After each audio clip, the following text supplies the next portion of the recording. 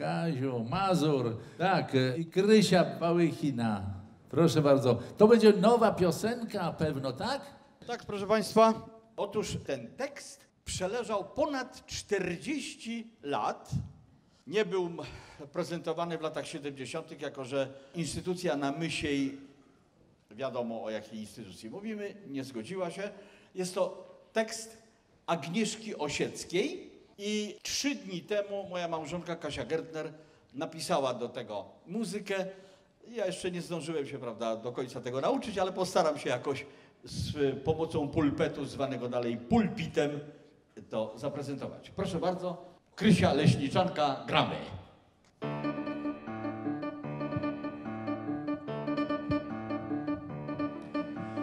W dawnych czasach monarchiści rwali sobie włosy z głowy, że artyści, ach artyści, złorzeczyli wciąż tronowi, ale wyszła z tego zupa, bo wiadomo nawet w urlach, że od sztuki tron nie upadł, tylko lekko się poturlał.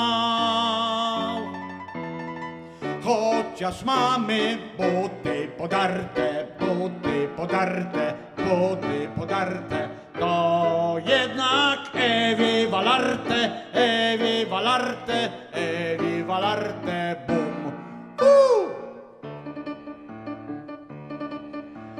Gdzieś daleko w Paragwaju, za morzami w obcym raju, król zaplakał, ach artyści! chcieli przejąć rządy w kraju, ale wyszła z tego heca, bo wiadomo nawet w urlach rząd się przez to nie rozleciał, tylko lekko się poturlał.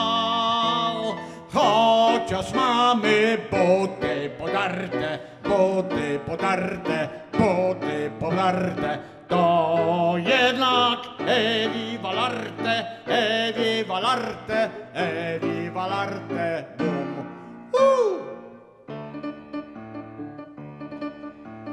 Uszanujcie nas artystów, sztuka musi się wykrzyczeć. Jakżeby wam było smutno, gdyby znów zaczęła milczeć. Bijcie brawo pierwsze rzędy! Wolno się ze śmiechu turlać, nie stracicie swojej grzędy, ani nawet daczy burla. Chociaż mamy buty podarte, buty podarte, buty podarte,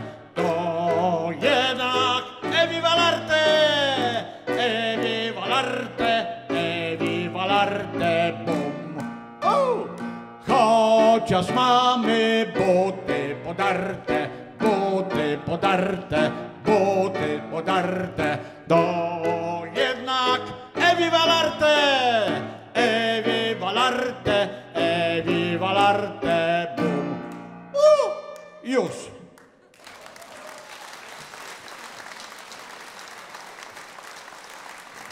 Brawo! Chociaż mamy buty podarte i viva l'arte! Niech żyje sztuka! Brawo!